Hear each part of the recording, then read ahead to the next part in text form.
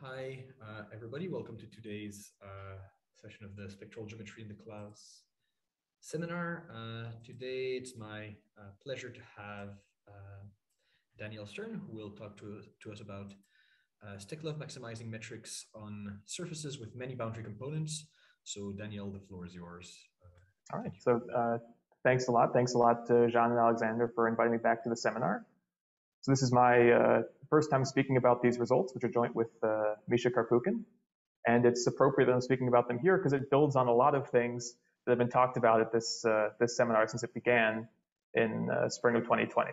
So, I mean, we'll, if you've been uh, following the seminar loyally, then you've seen talks by Henrik Matthiesen, previous ones by me, by Jean and Alexander, by Misha Karpukhin, and sort of all of those talks will, will feed into uh, what we're talking about today. Um, so it's great to be here. All right, so uh, what's our setup? So let's start by thinking about something which we've discussed in a few different talks in the seminar. Okay, so if we're on a closed Riemannian manifold, then of course we can ask about the first non-trivial eigenvalue of the Laplacian. The Laplacian will always have positive spectrum. All right, and uh, of course for this we have the variational characterization that uh, this is going to be the infimum of the Rayleigh quotient uh, on M, right, of all functions with zero average with respect to our, our volume measure, right? So in particular, it's the reciprocal of our best constant in the Poincare inequality. All right, that's not new to you.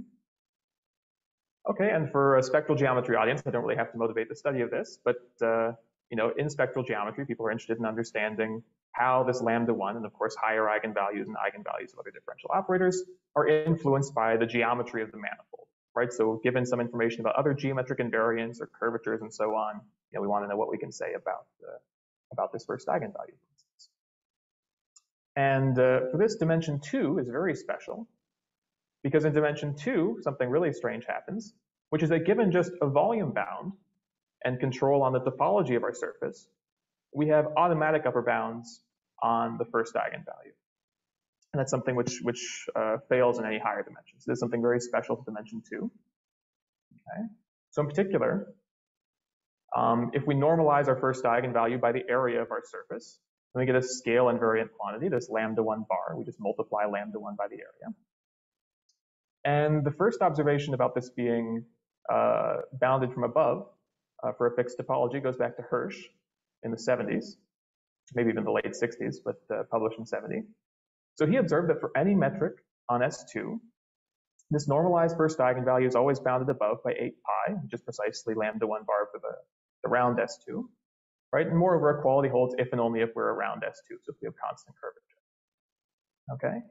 And uh, the proof, right? Well, uh, many of you have probably seen this, but it's an important one. So in particular, uh, we can always find for any uh, metric on S2 some conformal diffeomorphism to the standard two sphere sitting inside of R3. Okay, and moreover, our conformal automorphism group of S2 is rich enough that uh, we can arrange that the coordinate functions of that map are balanced, right? They have zero average. So in particular, we can test them in the Rayleigh quotient. And what we see is that twice the area of the standard two sphere, which is again exactly 8 pi, well, that's going to be the same by conformality as this energy, this Dirichlet energy of our map. But since we can, you know, by our variational definition of lambda 1, right, we see that this is bounded from below by lambda 1 of our given metric times the L2 uh, norm squared, right, of this phi. But phi is taking values in S2, so that phi squared is just 1 pointwise. So we see that this uh, right-hand side is lambda 1 bar. Okay, and then squeezing through, you know, understanding what happens in the case of equality, we see that uh, that would have to be an isometry, and so in particular, we'd have to be a, or a homothety rather. And we see that we'd have to have constant curvature. Okay, so that's Hersch in 1970. But this is true not just for S2. So uh, later, applying a variant of Hersch's idea, where now you're looking at branched covers from a higher genus surface into S2, uh, Yang and Yau proved a bound which is typically non-sharp, which tells you that lambda 1 bar for the surface of genus gamma for any metric is bounded above linearly in terms of the genus. Okay, and for the most part, we won't have to worry about exactly what that bound is. Okay. Um, so in particular, these are bounded in any orientable surface. And it turns out they're bounded in the non-orientable case as well. So for instance, for a non-orientable analog of Yang Yau, um, you can see work of my collaborator, Misha Karpukhin. Okay, so this technique was generalized a bit further by uh, Peter Li and Shing-Tung Yau in their notion of the defining the conformal volume. And here essentially the idea is to replace Hersch's trick where you're looking at maps into S2 and now just look at maps into higher dimensional spheres Sn. So now you have a lot more freedom in choosing your initial maps, like choose all, any kind of immersion or embedding into Sn, and look what happens to it under the conformal automorphism group of Sn.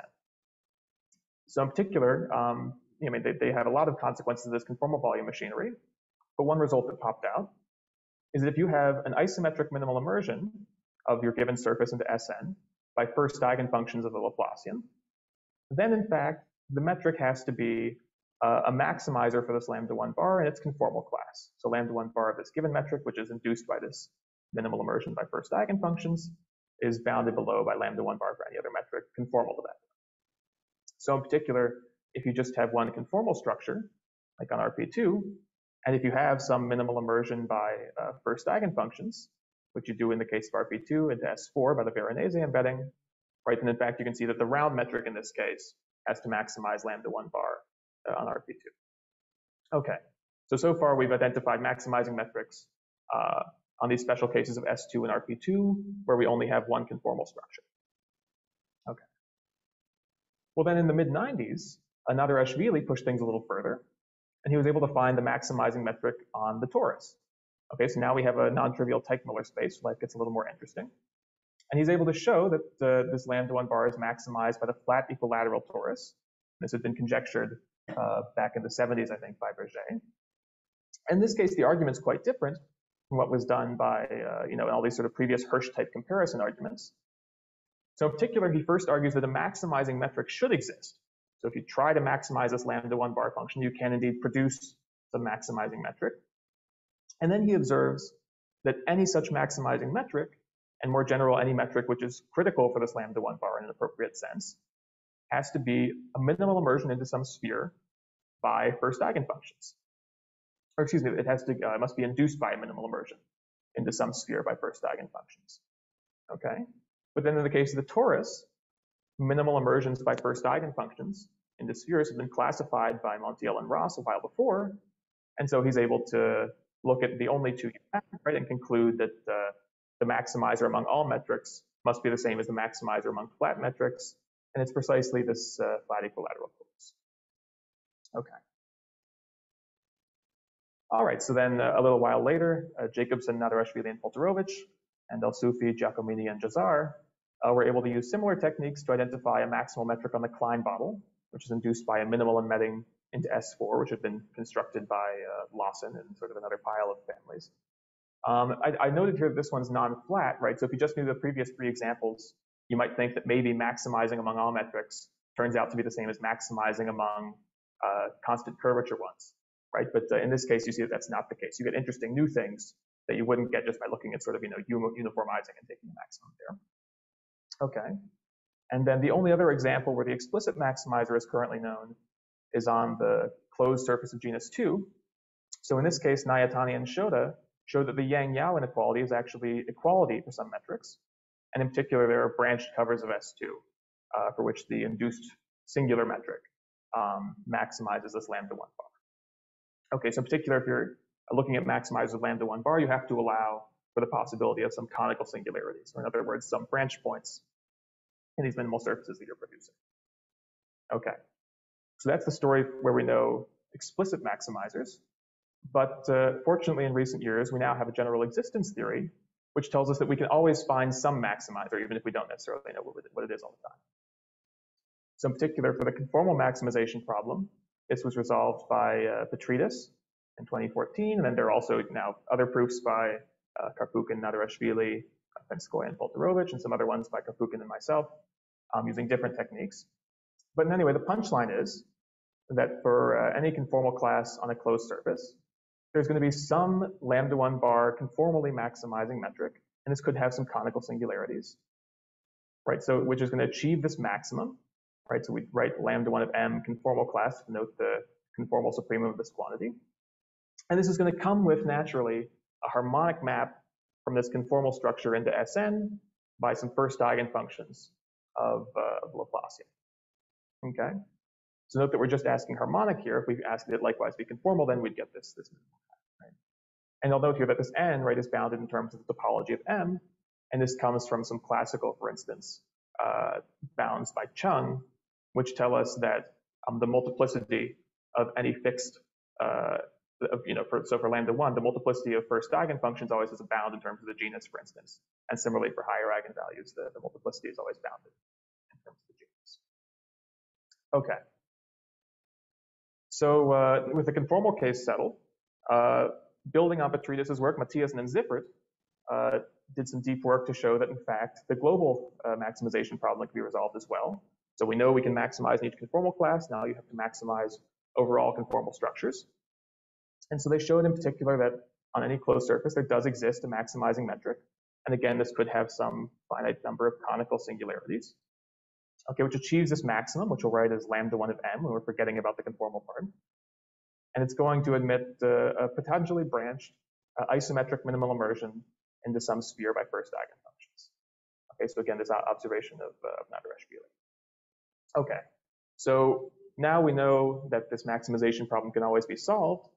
And sort of as an aside, I'll note that there's a similar theory for maximizing higher eigenvalues, but in general, you don't expect to get sort of nice metrics, even with conical singularities maximizing these. You do expect to get sort of configurations where your surface can split up into different pieces and you get some bubbling phenomena.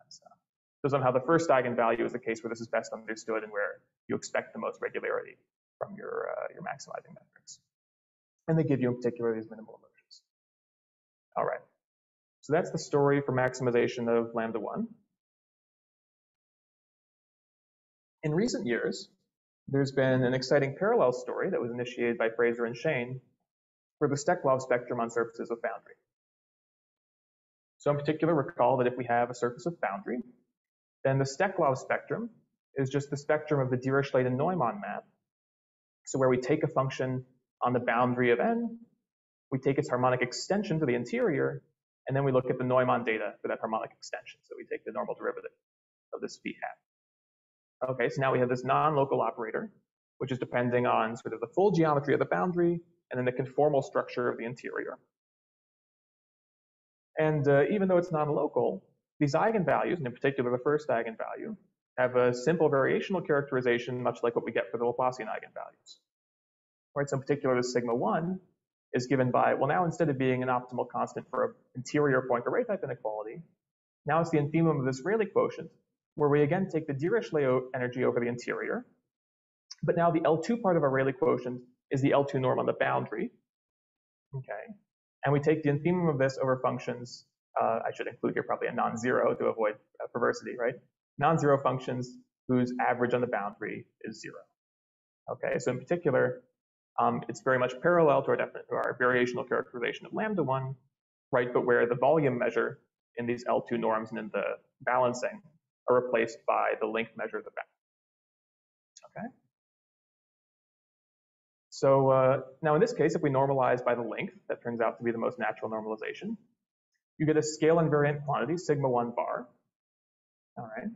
And we can start to look at isoperimetric problems for this quantity. So isoperimetric upper bounds for the sigma 1 bar go back to work of Weinstock in the 50s, characterizing disk as the maximizer among, uh, the, the, round disk as the maximizer among all topological disks in, uh, in the plane. But then uh, a little while back in 2009, Fraser and Schoen observed that the variational theory for the sigma 1 bar has a lot of really interesting parallels with that for lambda 1 bar on closed surfaces. So in particular, um, the first key observation is that if G is a maximizing metric for sigma 1 bar on the surface of boundary n, then G has to be induced now by a free boundary minimal immersion uh, into the unit ball for some dimension n. Okay. So let's recall what free boundary minimal immersion means. So remember when we did this Laplacian maximization, we got these closed minimal surfaces in the sphere, which means a surface in the sphere with, you know, well, the PDE form just tells you it has vanishing mean curvature in the sphere. But what this is telling us is that if we push it around by diffeomorphisms in the sphere, it's going to be a critical point for the area. To be a free boundary minimal immersion in the ball is telling you that you're a surface in the ball, your boundary is contained in the boundary sphere, and when you push it around by diffeomorphisms of the ball that preserve the sphere, so they still, you know, because they restrict to diffeomorphisms of the boundary sphere, then you're a critical point for the area functional under those kind of perturbations, where your boundary is required to stay in the boundary sphere. At the PDE level, this tells you that you have zero mean curvature in Euclidean space, and you meet the boundary orthogonally. Okay. So maximizing uh, these Steklov eigenvalues, you get these free boundary minimal immersions, which are going to be um, given precisely by the first Steklov eigenfunctions. Okay. And uh, moreover, I'll note, because this will be very important for us later, that there's an upper bound on the dimension of this ball that you're mapping into, which depends only on the genus event. Okay, so somehow the same kind of arguments that uh, Cheng used to show uh, this you know, uniform bound on the multiplicity of, eigen, of Laplace eigenvalues, you can get uniform bounds on the Steklov multiplicity of Steklov eigenvalues, and those won't depend on the number of boundary components. Okay. All right, so now we have a nice existence theory for these guys as well. So combining the work of Fraser Schoen, uh, Romain Petrides, and Henrik Matthiesen and then Romain Petrides, we now know that these sigma 1 bar maximizing metrics exist on any surface of boundary. Okay, so in particular, this was completed by Matthiesen and Petrides last year. So on any surface of boundary, there's going to be some metric, again, possibly with some conical singularities corresponding to some branch points of this minimal surface, which is going to maximize a sigma 1 bar and it's going to be induced by a, uh, again, possibly branched free boundary minimal immersion into some ball by first Steklov eigenfunctions for uh, this maximizing method. Okay. So that's good news. So this problem, this existence problem can be solved. Um, all right, so we can denote this maximum by sigma 1 of n. So it's going to be the maximum of the sigma 1 bar over all metrics. So the explicit maximizers are known in this case for even fewer topologies than we know the Laplacian maximizers in the closed case. So these have been characterized for the disk by Weinstock, for the annulus by Fraser and Schoen, is given by this critical catenoid in the three ball, and the Möbius band. So there's a critical Möbius band in a higher dimensional ball that was characterized by Fraser and Schoen as the maximum uh, for the first Steklov eigenvalue among all Möbius bands. Let's see. I haven't missed any, have I? I think those are the only three, right? Okay. Okay. If someone else knows one, let me know. All right. I, th I, think they're the only three. Yeah. Okay. So, uh, so these are the three examples where we know explicitly what the sigma 1 bar maximizing metric is and what the, in particular the corresponding free boundary minimal surfaces are. All right, so if we don't know explicit examples, well, we can try to find more. But another thing we can do is start looking at asymptotics. Right, so in particular, um, we can ask if we start taking parameters like the genus or the number of boundary components getting very, very large, what can we say about the asymptotic behavior? Of these maximizing metrics. The question about taking the genus large is an interesting one, which I have uh, you know, nothing useful to say about today. Um, but uh, we're going to be interested in this question of what happens if we fix genus and take the number of boundary components becoming large. And this turns out to be a very natural one. And it was considered uh, you know, by Fraser and Schoen in earlier work. And recently there's been a lot of progress in understanding this.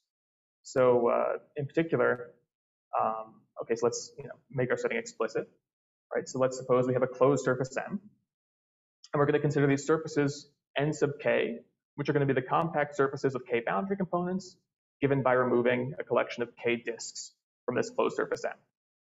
So for instance, if we're orientable, then M is just, you know, a closed surface of genus gamma, and N is going to be the surface of genus gamma and k boundary components. Okay. So last year there were two important results uh, relating this Steklov maximum quantity on nk to the maximum Laplace eigenvalue on M. Okay, and if you're loyal followers of the seminar, you've heard about all this before. But uh, all right, so one of these uh, by uh, Misha Karpukhin and myself is building on some uh, general machinery for relating these Laplacian maximization problems to the variational theory for harmonic maps. Uh, as a, a, little output, we were able to show that the sigma 1 of nk is always bounded from above uh, by lambda 1 of m. So in particular, the maximum Steklov eigenvalue on this uh, surface with k boundary components is always less than the maximum Laplace eigenvalue you get on the closed surface by filling in the holes. Okay. And there's also a more streamlined approach to this by uh, Karpukhin, and Lagacé, which removes sort of the uh, reliance on this min-max construction. Okay. Um, then uh, around the same time, Girouard and Lagacé, are organizers, showed that uh, if you take the limit as k goes to infinity of these sigma 1 of nk, that's always bounded from below by lambda 1 of n. So in particular on any, and again, in this case, it's also a consequence of more general results, where they show on any Riemannian manifold M, you can find a family of uh, domains inside for which the uh, Steklov spectrum converges in the limit to the Laplace spectrum of the, uh, the closed guy. So in particular, if you put these together, you'll see that the limit of the sigma 1 of nk coincides with lambda 1 of m. So if we're fixing the genus and taking the number of boundary components going to infinity, we get an increasing sequence converging to this uh, Laplacian maximum. Okay. So both proofs make use, maybe somewhat implicitly, of the fact that these Laplacian eigenvalues and Steklov eigenvalues uh, have the same kind of variational characterization. So in general, if we have, you know, our conformal structure on some closed surface M and some measure mu, we can write down these eigenvalues where we take the infimum of this Rayleigh quotient, where we're taking just the usual Dirichlet energy of F, and uh, our you know, L2 part with respect to this measure mu, and we ask that our function be balanced with respect to mu. Okay, right, and as we discussed, right, the first Laplacian eigenvalue, this corresponds to uh, the case where we're taking mu to be the volume measure for a given metric in this class. And the Steklov eigenvalue corresponds to the case where we're letting mu be the boundary length measure on the boundary event. Okay, so the, the idea behind what uh, Alexander and Jean did is they uh, figured out, well, by drilling lots of small holes in this closed surface M, they can find a sequence of domains whose boundary length measures are going to converge to the area measure. In, in particular, in the dual of W1P strongly, right, for any P bigger than one, and such that the harmonic extension operator of uh, W12 of this domain omega k into the complement is going to have vanishing norm as k goes to infinity. So somehow we can extend functions in such a way that we don't increase their area very much as k goes to infinity to the whole manifold. Um, and this is enough to see that you get convergence of the associated spectrum for these measures. Right? So there's a more general theory for this kind of thing developed by uh, Girouard, Karpukhin, and Lagacé a little later in the year. Right, so in particular, that's enough to conclude that the first Steklov eigenvalue of these domains converges to the first Laplacian eigenvalue of the closed guy.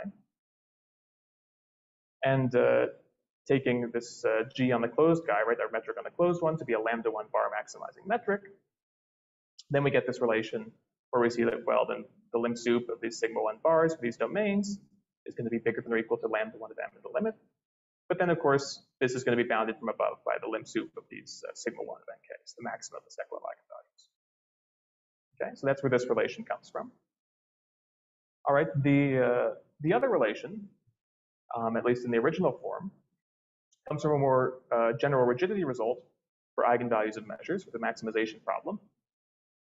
So again, building on this, uh, this sort of connection between the variational theory of harmonic maps and these eigenvalue maximization problems, Misha and I were able to show that uh, for a certain large class of measures, we don't need to get into what that class is, but that includes in particular the length measures of curves on a closed surface with some conformal structure. It's always true that the sort of normalized first eigenvalue associated with that measure is bounded from above by the conformal max of the normalized eigenvalues over the, uh, the smooth metrics. And moreover, equality holds if and only if that measure is a smooth, uh, is you know the volume measure for a smooth maximizing measure. Okay. So somehow this is telling us that if we expand our eigenvalue maximization to a, a larger pool of measures, we aren't getting anything new. Okay.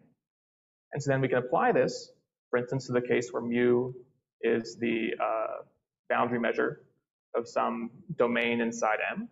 And in particular, we can always realize any surface, you know, if a surface is topologically given by removing k disks from M, and for any metric on that surface of boundary, we can always extend it to some smooth metric on the interior, right? We can extend it to some smooth metric by filling in the holes.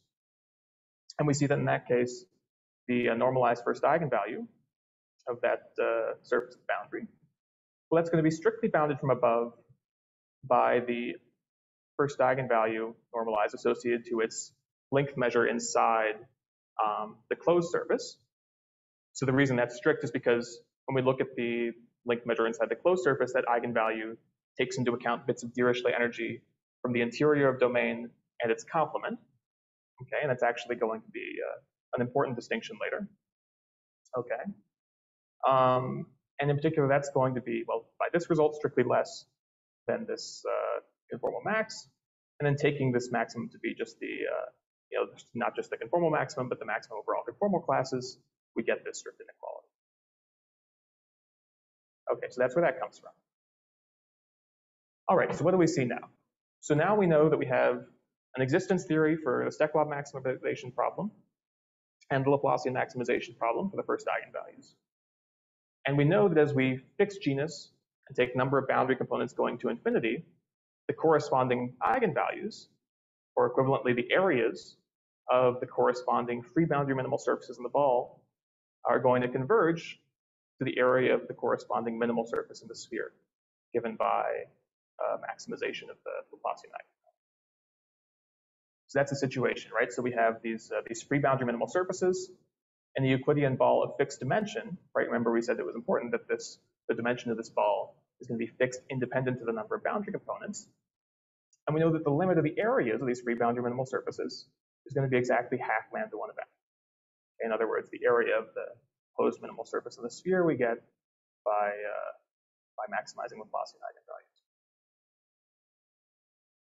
Okay, so by general results in uh, minimal surface theory or geometric measure theory, you can say that these gamma k, these free boundary minimal surfaces, well, just by virtue of the area bound, they're going to have to converge in some weak sense. And the right notion there, for instance, is varifold convergence. If you don't know varifolds, don't worry, you won't need to know them for this talk. We'll get to something you can sink your teeth into more later.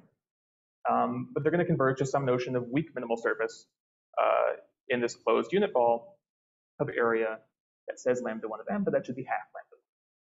Okay? So the areas will have to converge the limit. Okay. Well, now let's just note that any closed minimal surface in this boundary sphere, like the ones, for instance, given by maximizing lambda 1, is going to satisfy the weak characterization of a free boundary minimal surface in the ball. So in, if the weak formulation of being a free boundary minimal surface in the ball is that you're some surface inside this closed ball, such that when I push you around by diffeomorphisms that preserve the boundary sphere, you're a critical point for the area functional under those kinds of perturbations. But if you're just sitting a surface sitting inside the boundary sphere to begin with, this just means that you're a surface inside the sphere, which is a critical point of the area under diffeomorphisms of the sphere, which is precisely the weak characterization of being a closed minimal surface in the sphere. Okay, so in particular, a priori, this limit, which is just some weak notion of free boundary minimal surface in the ball, could be a closed minimal surface in the sphere. And in fact, we know of a closed minimal surface in the sphere which has this area because it's the one given by uh, maximizing the Laplacian eigenvalue. Okay, so we could raise a question. Do the free boundary minimal surfaces uh, in Dn plus 1 induced by the sigma 1 bar maximizing metric on nk, do they converge in an appropriate sense as k goes to infinity to the minimal surface in Sn arising from maximization of lambda 1 bar? Right? And uh, I think Jean and Alexander raised this as a conjecture for the genus zero case in their paper, right? Where in that case, the closed minimal surface in the boundary just literally means the boundary sphere S2 itself uh, for the ball B3. Okay. And so the, the first main result I want to talk about today is an affirmative answer. Together with Misha Karpukhin, we were able to confirm this. So uh, let's see. Oh, Jean, are you unmuting for a question? Yes, yes, I have a quick question here. Uh, actually, something I was uh, discussing with Alexandre yesterday. Uh, mm-hmm. So, so here, and, and, and you have mentioned this in, in, in your previous slide, you, you say the minimal surface obtained from a maximizing metric. Oh, no, no, no. So, so we don't have a guarantee of uniqueness in general. Yeah, but, and even if it's up to subsequence, um, maybe, maybe it's just known and I, I don't know, it is the, the space of all these maximal metrics compact in some sense uh, and all that so that you can ensure that you have a, a convergence at the end or, or yes. Uh, so, so for instance, if you have a minimal immersion by first eigenfunctions, mm-hmm, mm-hmm. it's a result, and this extends to the branch ones as well, the result of, uh, I believe, Montiel and Ros, that it's mm-hmm. unique in its conformal class up to um, you know, isometries of spheres. Yeah, yeah, of course, up to isometries. Yeah. Um, okay, so then the question is, do you have compactness in the space of maximizing conformal classes? Mm-hmm.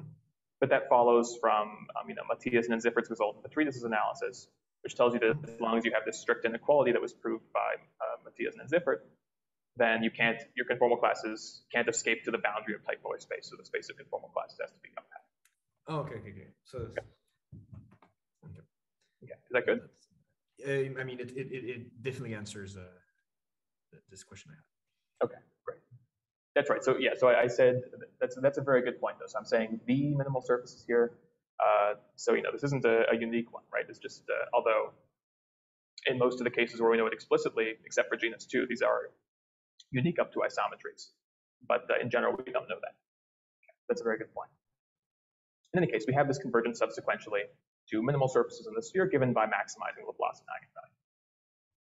Okay, so in other words, we knew already the convergence of the corresponding numbers. Now we know that the actual, you know, maximizing metrics and the associated minimal surfaces converge in a weak sense.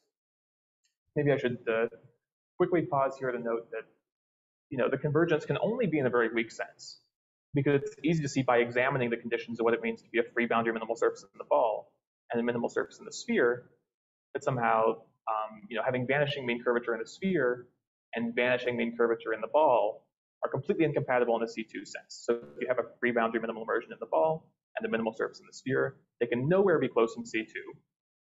Or since these you know, free boundary guys have to meet the sphere orthogonally, you know, at least near the boundary, they're not going to be anywhere close in C1.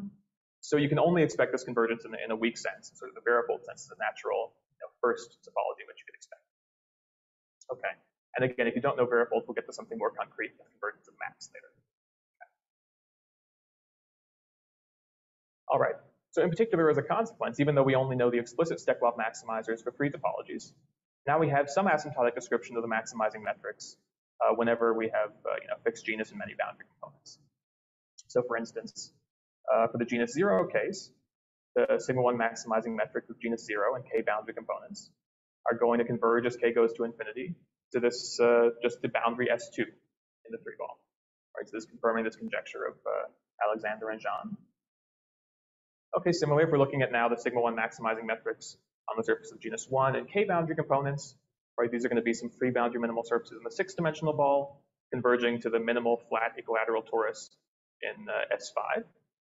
Okay, and then of course, you know, we can state similar things when the closed guy that we get by filling in the holes is RP2 or the Klein bottle or the oriented surface of genus 2. Whenever we know the Laplacian maximizer, now we have some asymptotic description for the Steklov maximizer. Okay. So uh, let's discuss a bit of the proof. So a key ingredient um, are these results that we proved with uh, Mikhail Nahon and Josip Polterovich that Misha talked about a few months ago in the seminar we're understanding stability for the maximization of eigenvalues problem. So you can ask, you know, given some metric, or more generally some measure, you know, whose normalized first eigenvalue is close to the maximum eigenvalue, does that metric or that measure have to be close in any meaningful sense to the to an actual maximizing metric or measure, right? And so we get some positive answers where the right notion of closeness is basically the dual of the W12. Okay. So in particular, most important for our purposes now is this uh, qualitative stability result. Okay, so it looks like a lot, but it's not so bad. So if we have some conformal classes and some measures, which I'm calling here admissible measures, but the point is some class which includes, you know, length, length measures of curves and, you know, volume measures on this closed surface, such that these normalized first eigenvalues converge to the maximum overall, uh, overall first eigenvalues. Then there's going to be some maximizing metric which up to subsequences, and we have to sort of mod out by natural action of the diffeomorphism group of M.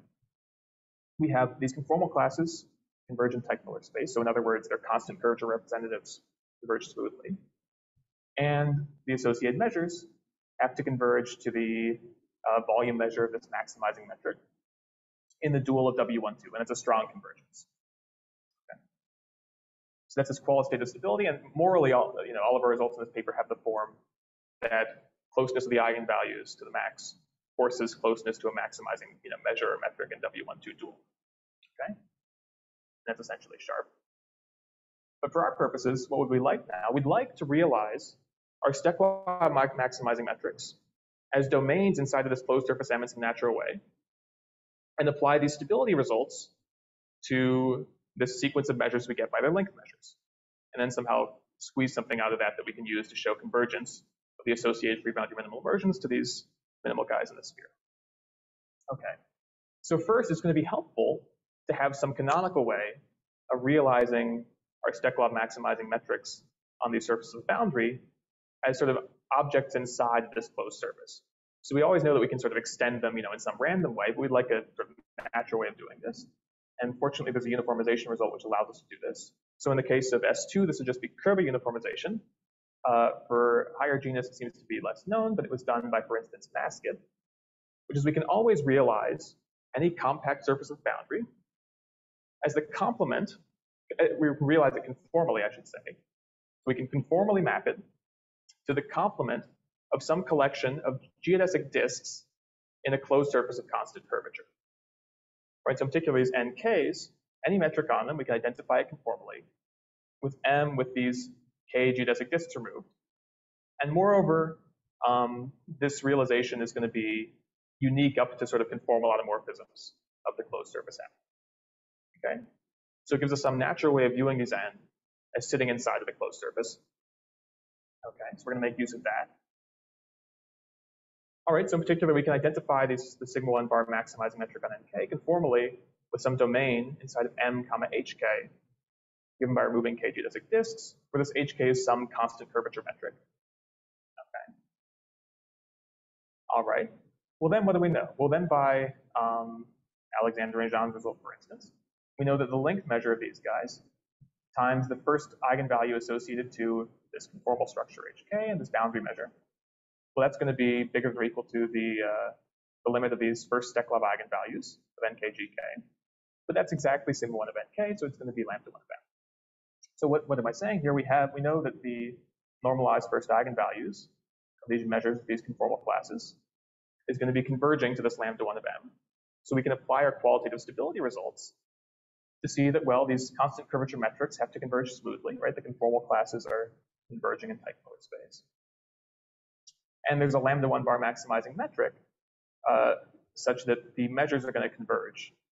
That the length measures of these boundary curves, right, is going to converge to this uh, volume measure of the maximizing metric in W12 dual, say with respect to this limiting reference metric H naught. Remember H naught is just a constant curvature metric conformal to our maximizing metric. Okay. So the point is we can do this realization where now we have nice W12 dual convergence of the measures, and we have nice smooth convergence of the conformal classes. Okay. So what do we get from here? Well, now if we look at suitable test functions and apply, you know, in, in the convergence, we have this W12 dual convergence of the length measures to the volume measure in the limit. So we can plug, you know, nice test functions into that convergence statement.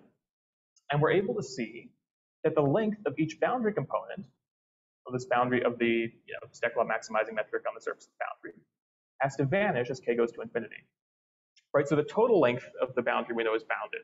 So if we knew that all of the you know, uh, boundary components had comparable length, this would be automatic because each of them would have to have length like length like 1 over k. But we don't know that a priori. Fortunately, we can do a little work to see that at least uh, the length of each component is vanishing as k goes to infinity. And since the total length is bounded, we can conclude from there that the sum of the length squared of these boundary components is vanishing as k goes to infinity. Okay, well then, isoperimetric stuff gives us a little more information.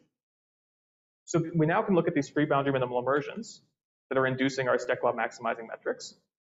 And since the sum of the length squared of their boundary curves is going to zero, as k goes to infinity, that means we can find fill-ins such that the area on those fill-in, those disks, is going to be going to zero. So we can cap off those free boundary minimal immersions to maps from our closed surface into the unit ball without adding much area, without adding negligible area as k goes to infinity. Okay, so that's good news. So in particular, we can replace our conformal structure on a given surface with one by perturbing it slightly, such that you know this omega, this we're still identifying our surface of boundary conformally uh, uh, with this domain inside the M, but now we can do that in such a way that we identify the energy of this map with the area, maybe up to some little error. And so now we get that we have this family of metrics where uh, we can apply stability again, and we have the energy of the extension of this free boundary minimal immersion to the complement, like to these remaining holes, is vanishing as k goes to infinity. Okay, so we can extend it with negligible air, uh, energy, the limit. Okay, so finally we see that, uh, okay, well these uh, UK hats have to converge weakly in the limit to some limiting map from our closed surface M into Bn plus 1. Okay, but then if we put together the fact that these free boundary minimal immersions are conformal maps by sigma 1 eigenfunctions, and that they have vanishing energy on the complement, right? Their extension has vanishing energy, so we can sort of ignore it for W12 purposes. Okay, if we use the fact that these guys are, uh, you know, pointwise taking values in the sphere almost everywhere for the boundary measure, right? They're mapping the boundary into the SN. And crucially, that the boundary measures are converging to the area measure of this uh, maximizing uh, metric strongly in the dual of W12. So we have all these weak convergence statements for the maps and for quantities associated to the maps, but we have strong convergence for the measures. And we're going to be repeatedly using the fact if we have a weakly convergent sequence of functions in W12 and a strongly convergent sequence of measures in the dual of W12, then limits commute, right, when we pair those things. Okay, so using that kind of argument repeatedly, and you know, using what we know that the uh, first Steklov eigenvalue and the converge to the first Laplacian eigenvalue, then we're able to deduce, with a little work, but not too much, that the limit map is going to be a conformal harmonic map to Sn by lambda 1 first eigenfunctions. And that gives us exactly this theorem A. So, uh, you know, I, without going into what varifold are, varifold convergence follows easily. But if you don't like varifolds, all you need to know is we can take these free boundary minimal immersions, realize them as maps from some domain inside of M into the ball, fill them in with negligible energy, and get strong W12 convergence in the limit to this branched minimal immersion into the sphere. Okay, so it's just a statement about convergence of maps in the end.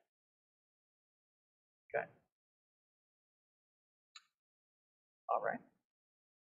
So as a corollary of the uh, convergence, you know, one sort of maybe you know concrete statement you can see from that is that the supports of these free boundary minimal surfaces are going to converge, you know, in the Hausdorff sense to the support of the minimal surface in SN realizing lambda 1 of n. Okay, that's just sort of a straightforward consequence of the varifold convergence for uh, for free boundary minimal surfaces. Okay, so that's that's my sketch of proof of theorem. A. People have questions before we move on to other quantitative things? All right, then let's keep chugging along. All right, so in addition to uh, getting this nice convergence statement, uh, we're able to get um, a little more quantitative version of this fact that these eigenvalues sigma 1 of nk converge to the max Laplacian eigenvalue on the closed guy. So we're able to get some rate of convergence in particular. So uh, we show, well, first of all, for any closed surface, rate of nk is this surface uh, given by removing k disks, then the gap between lambda 1 of n and sigma 1 of nk is going to be bounded above by some constant times log k over k. Okay. And in fact, we proved that for uh, for higher eigenvalues as well. So you can make the same statement for lambda j and then sigma j if you're taking the max over higher eigenvalues in the spectrum. Right, so log k over k is a nice rate of convergence. And moreover, if we take this closed model M to be S2 RP2, T2, or the Klein bottle K. So all the examples where we actually know the maximizer, except for the surface of genus 2, which is kind of a pest, um, we get the corresponding lower bound. So not only is this gap, you know, big O of log K over K, but in fact we have a corresponding log K over K lower bound. So that's the right rate of convergence. Is, so um, is, is, is, is this related to the fact that you have uniqueness in those cases of the maximizer up to isometries or? Uh... It is, and it's somehow related to the fact that, and this appears in our paper with um, with uh, Nahon and Polterovich as well. Um, but it's related to the fact that we have basically some nice comparison families. So mm-hmm. somehow, you know, for S2 and RP2, we have sort of Hersch's trick and the, um, you know, the conformal volume characterization of the maximal metric on RP2, and sort of, you know, squeeze, you know, squeeze out a quantitative version of, um, you know, what Li, Yau, or Hersch did. For T2 and um, the Klein bottle, we in addition have to have sort of an extent, nice extension of these families uh, in the directions which change the conformal, conformal uh, structure as well. Um, but there's sort of nice natural families to do it in that case. Okay, so, so we're using the fact that we have sort of some nice explicit comparison. Okay. All right. So let's talk about this, uh, this upper bound, which is going to be independent of the topology of this closed surface M. So uh, the idea, well, to show this upper bound, right, we just need to find some metric on nk, which uh, is within you know, log k over k of the maximizing metric on, on m. Right, so we just need to provide some metric for which this holds, and then clearly the sup satisfies this bound as well. Right? So here we follow uh, Jean and Alexander for a large part and then just optimize a few things. Okay. So similar to what Jean and Alexander did, we start by fixing some reference metric on M, which, uh, you know, for which the associated conformal class realizes the maximum of lambda 1 over all conformal classes. And we select a domain inside of M by removing k geodesic disks uh, of small radius. Okay, so in our case, we choose that radius to be like k to the minus 3 halves. That minus 3 halves isn't super important, it's just sort of useful for technical. Um, really, any, any power of 1 over k bigger than 1 should do. Okay, and, and more importantly, we ask the distance between the centers of those disks be like square root of k. So somehow these points which are, um, you know, separated, you know, equidistant in uh, in M. Right. So this is very similar to what Jean and Alexander did. All right. The thing is now in Jean and Alexander's original paper, they're um, you know just taking the uh, you know the, the metric the metric on these domains induced by the metric on the closed guy. In our case, we're going to apply a little conformal change too. So how do we choose our conformal change? So if Gmax is the lambda 1 bar maximizing metric, conformal to G naught, then we choose a conformal factor on our domain omega k, satisfying the following rule. So all that really matters is what it does on the boundary. And we say that if we integrate some function chi against this conformal factor on the boundary, that's going to be equal to the integral of the harmonic extension of chi into the domain against the volume of the lambda 1 maximizing metric. Okay, so why do we do this? Well, we know from our experience with these stability results that having an eigenvalue close to the max is going to be related to have, having your measure being close in an h minus 1 sense, or in a W12 dual sense, right, to the maximizing measure.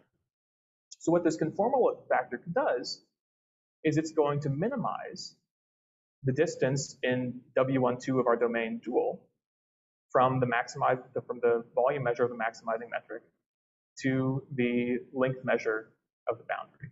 So we're choosing our conformal factor, which somehow minimizes this h minus one difference between the volume measure of the maximizing guide and the length measure of the boundary.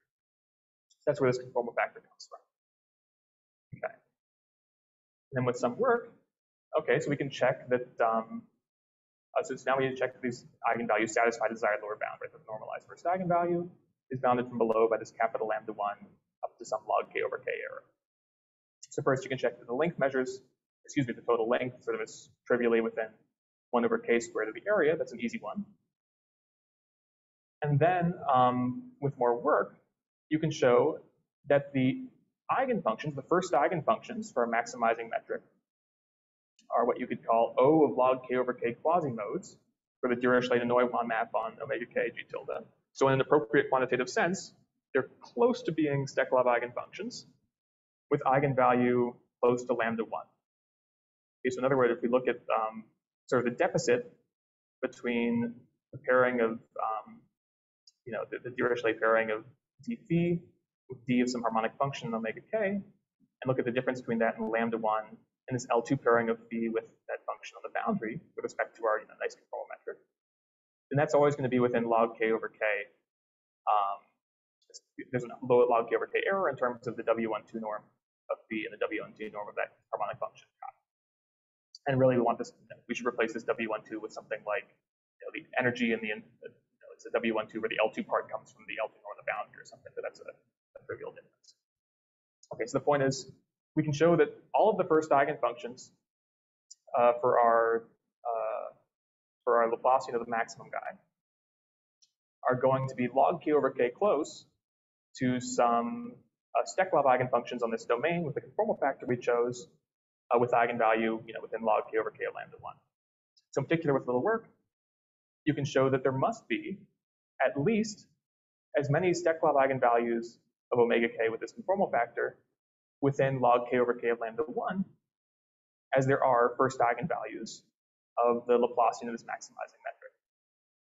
Okay, then you argue that if there were some other non-trivial Steklov eigenfunctions between 0 and outside of this, you know, log k over k range of lambda 1, well, in arguing sort of in a similar way to what Jean and Alexander do, you say that these extra eigenfunctions would limit to extra eigen extra first eigenfunctions of the Laplacian in the limit. So in particular, you know, we already have multiplicity of lambda 1 eigen, eigenfunctions uh, with, within log k over k of lambda 1. If we had an extra one that fell outside that range and was below lambda 1, then we would get too many lambda 1 eigenfunctions of the limit. Okay? So in particular, um, this tells us that the first non-trivial Steklov eigenfunction of these omega kg tildes have to be within log k over k that lambda 1. Okay. And that completes that. So that's the upper bound. Again, that holds for arbitrary closed M, and um, it's easy to extend it to higher eigenvalues as well. Okay. So um, the lower bound on the gap is interesting, and it uh, builds on some of the techniques that we developed with uh, Mikhail Nahon and Josip Polterovich. But then we have to tweak a little bit to the Steklov setting. So to keep life simple, I'm going to illustrate this just in the genus zero case. We're taking M to be S2, um, and then I already discussed a little bit with Jean about how to extend that to the, the other uh, topologies we can prove it for. I can say a little bit more about that in questions that people want. Okay, let's focus on the S2 case. So the starting point, just similar to the starting point we had with uh, Mikhail and Josip Polterovich, is some kind of quantitative version of the Hersch lemma. But in this case, uh, with, uh, with Mikhail and Josip, um, somehow we we're looking at measures, we're looking at eigenvalues defined with respect to all of the closed surface and not with respect to domains stuck inside. Okay, it's going to be important in this case that we're looking just at the domains it's strictly contained in M. Okay, so uh, suppose omega is in domain, let G tilde be a metric on omega, such that the boundary length measure is balanced with respect to the um, the coordinate functions of S2, right? And certainly we can um, we can always arrange that up to some formal automorphism. Then uh, setting sigma 1 to be the first Steklov eigenvalue of the domain with that metric, we have the following. So the W1 dual, difference, W12 dual difference squared of that boundary length measure and the two times the volume measure of a standard metric restricted to that domain, plus the area of the complement S2 minus uh, omega is going to be controlled by the gap from the, the distance difference between 8 pi, right, the max eigenvalue on S2, and the sigma 1 bar, the, the normalized Steklov eigenvalue of the domain. So the difference, for those of you who remember uh, Misha's talk about the work with uh, Mikhail and Joseph, the difference here is that this W12 norm is going to be restricted to that domain. And now we get this extra area piece coming in. That's actually going to be crucial. Okay. So uh, what does this tell us?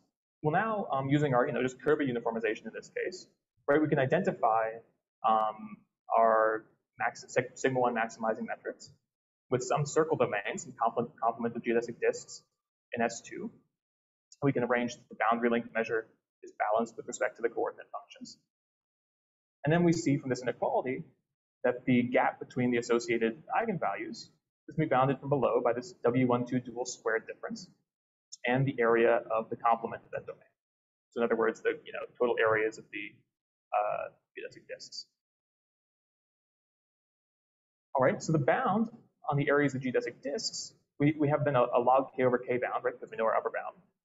So we conclude that most of the k geodesic disks that we removed to obtain this domain omega k have to have radius at most k to the minus alpha, where alpha is any fixed number between a half and one. So I think we use three fourths right in the paper. But that's somehow the key point. Um, and then using a suitable choice of test function. So with this area bound, we know that most of these disks that we've removed have this small radius, uh, much less than uh, 1 over square root of k.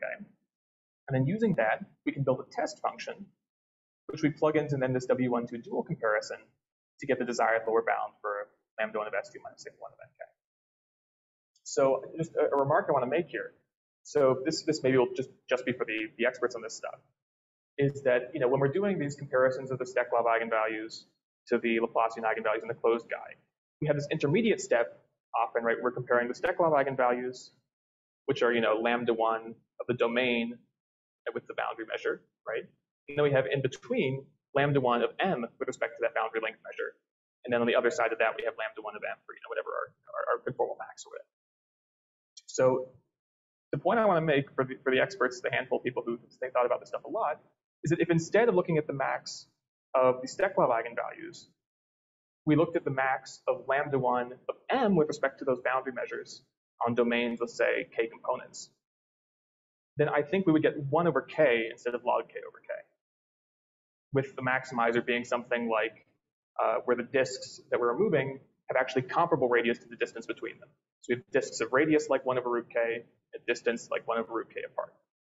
So there's actually a qualitative difference, and well, in, particular, quantitative difference between um, maximizing over the eigenvalues of the closed surface and these boundary length measures to the actual Steklov maximization problem. So We'd lose our log k part there if we did that estimate instead, which is what we were trying to do at first, and we realized it wasn't good. That's maybe just a technical point for experts. But in any case, uh, that gives the proof in the S2 case of this uh, sharp log k over k lower bound. And uh, as I sort of indicated to Jean, um, we get something similar for RP2, T2, and the Klein bottle K, where um, the point is we have to use sort of different families of maps where Hersch uses the conformal automorphisms of S2. Okay, but I'll uh, stop there. Thanks for listening. Thank you very much. Thank you very much for the talk, Daniel. And uh, now we have time for questions. So um, please just uh, unmute yourself or uh, write your question in the chat and I will uh, relay them or Daniel will answer. Uh, I have a quick question. Uh, Daniel, could you please repeat this technical point that you made at the very end about losing the log? Yeah.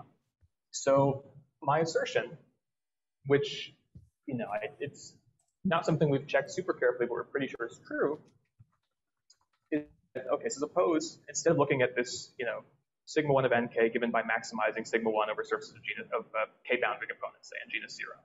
Mm -hmm.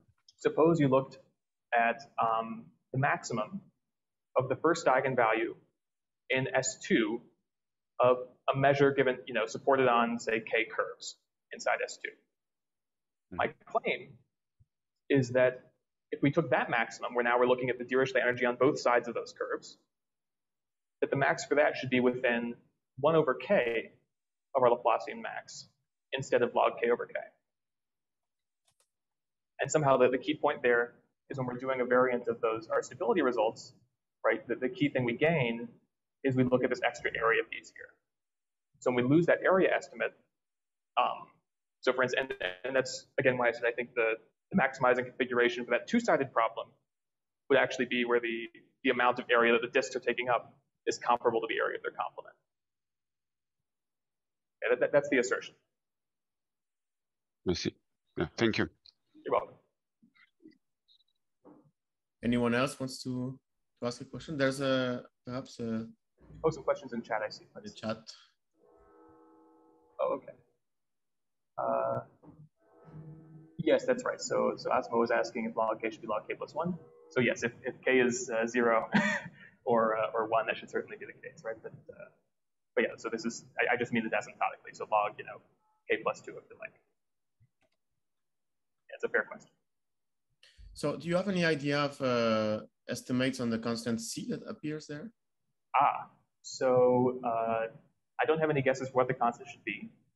I mean, basically, I think figuring out going from the rate of convergence to the actual, you know, getting an actual asymptotic expansion for the sigma 1 of nk in terms of lambda 1 of m.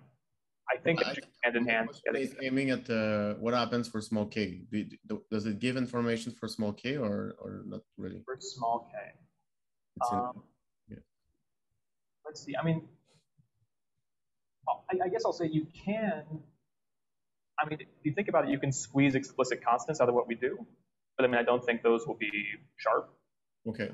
So um, I mean, to get sharp constants, it should go hand in hand with really getting a, a more refined asymptotic analysis of what's happening, what these metrics look like.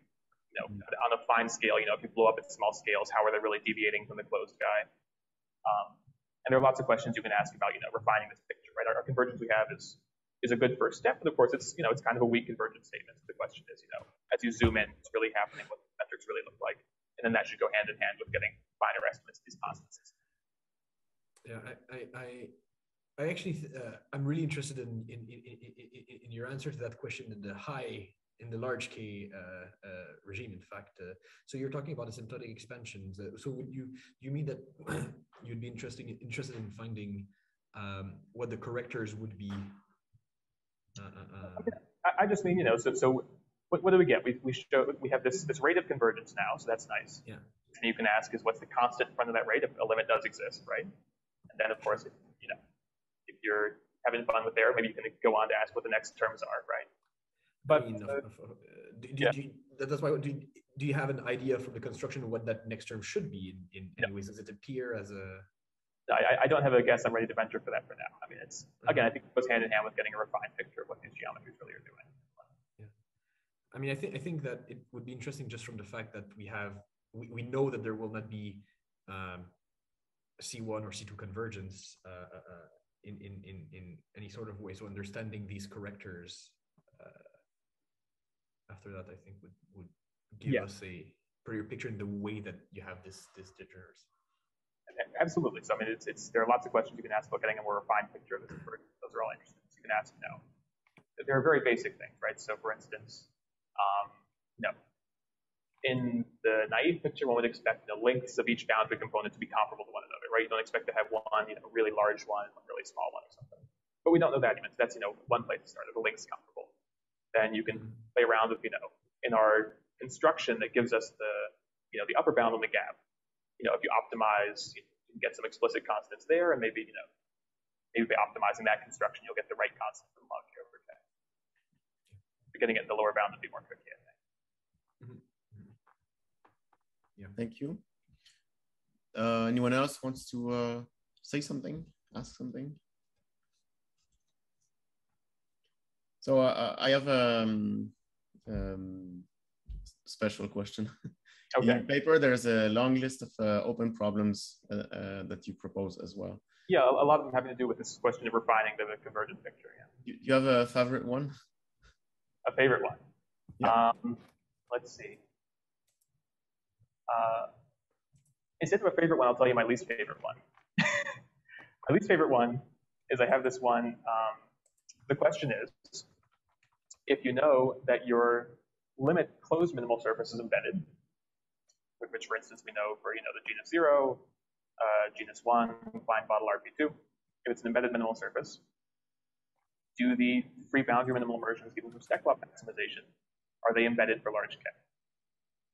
And the thing is, if you're used to you know minimal surface and geometric measure theory stuff, then if you're having say you know a sequence of you know even weak minimal surfaces, singular, you know if you have these weak minimal surfaces, these stationary varifolds in some fixed domain, you have all these nice persistence of singularities results, which tell you that if your limiting object is smooth and embedded, right, then you're you have to be smooth and embedded sufficiently far down the sequence.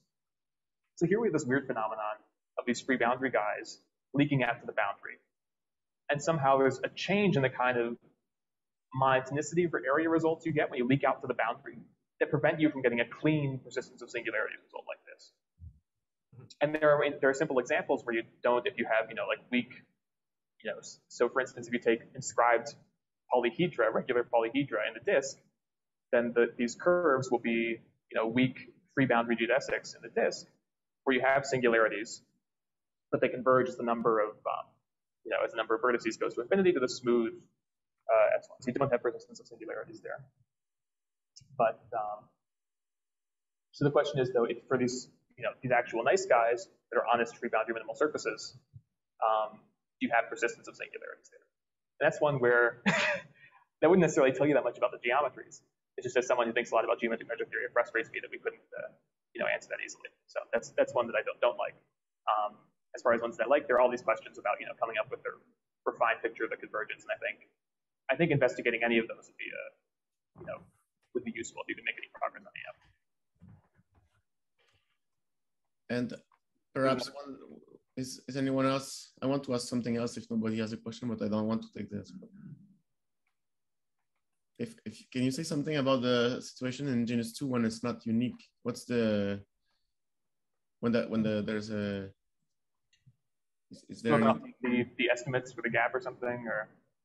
No but like like uh, is there a special phenomena there to to understand? Because the the maximizer for the closed surface is not itself unique? Yeah so i mean in general as you can see genus 2 is left out of our list of quantitative results right? And it's um, similarly in the paper with with um, Nahon and Polterovich it's, it's, just kind of a pest um, no i mean and you know so there's simple questions you can ask so in that case you know in the limit we know we're branch cover of s2 so you can ask, you know, is that going to be true, you know, for the Steklov maximizers as well? Are they going to be, you know, branch covers over a two-dimensional guy? Or are they just going to be, you know, higher dimensional guys that sort of collapse in the limit to this equatorial S2? Um, no, so we, we have some questions in, in the, the question section about how to get refined asymptotics there, but I, uh, I, I don't know how to answer them. They're open. That's fine, thank you. Yeah, you're welcome. Okay, one last time I will ask, does uh, anyone want to say something, ask something? If not, let's thank Daniel again. Thank you very much. It's fun.